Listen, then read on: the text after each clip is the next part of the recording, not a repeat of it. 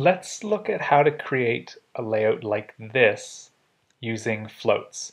So if, we remember how floats work, you can see that the text here about Venus is floating around the image. So it's wrapping around the image. So that means the, the image itself is floated.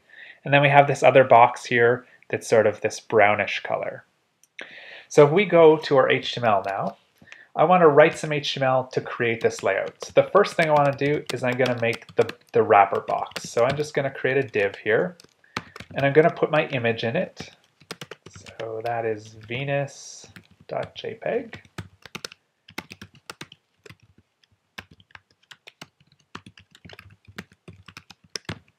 All right, so let's go back and get our text here. And so that's just going to be paragraphs.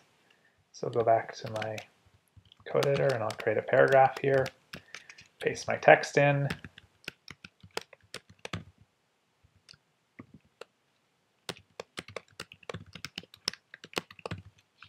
All right, so there we go. So we have a div and we have my image and the paragraphs. And let's look at that in the browser now. You can see it looks like this. So it's a little bit different from what it looks like in Photoshop. So let's start by putting the background color on my div. So I'm going to grab that here. And also you'll notice the font here is sans serif, so I'm going to do that instead.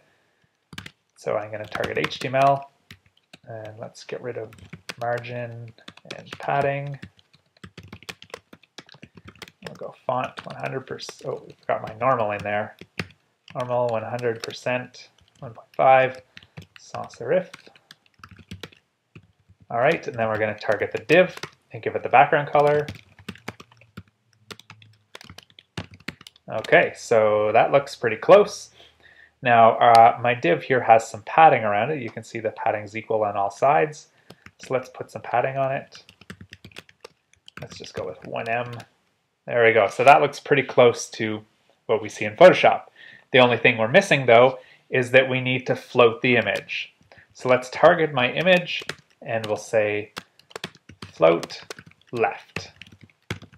All right, there we go. So look, you can see the text is touching right on the edge. It's not exactly the what we're looking for.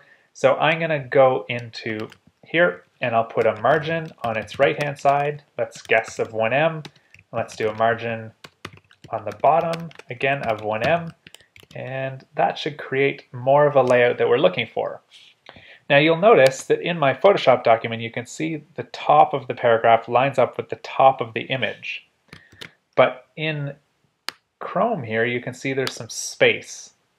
And that's because the browser by default here adds as it adds margins to the top and the bottom of my paragraph. So we probably want to fix that.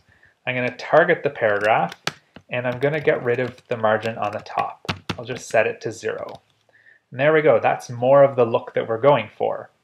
So you can see we've just floated our image, then we adjusted its margins a little bit to get this sort of effect using floats.